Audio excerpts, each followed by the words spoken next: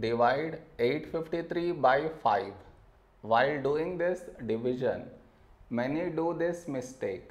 What is the mistake that they do? I will let you know. But before that we should frame it in this way.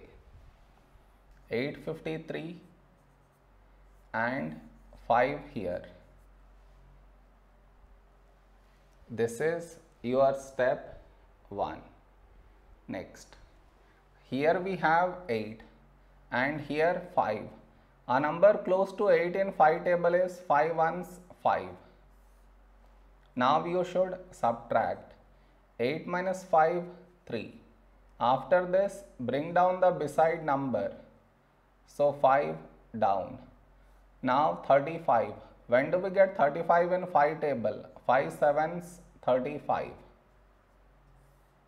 Now you should subtract 35 minus 35 0 after this bring down the beside number.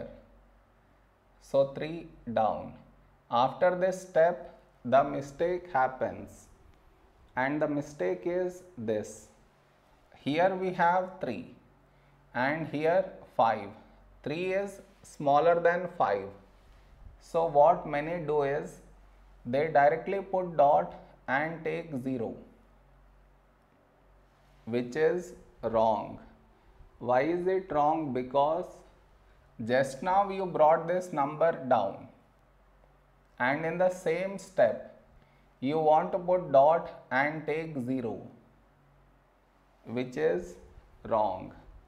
I repeat bringing the number down and also put dot take 0 bring the number down and put dot take 0 both at the same step you should not do. Instead, what you should think of doing is what number should we write here? If I take 1, we will get 5, but 5 is larger than 3. So, what we should do is we should take 0. So, 5 into 0, 0.